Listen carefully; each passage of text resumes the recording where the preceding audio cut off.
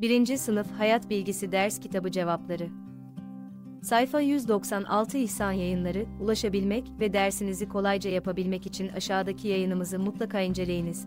1. Sınıf Hayat Bilgisi Ders Kitabı Cevapları İhsan Yayınları sayfa 1964. Kavram haritasını inceleyiniz. Boşlukları doldurunuz. Cevap 5. Kavram haritasını inceleyiniz. Boşlukları doldurunuz.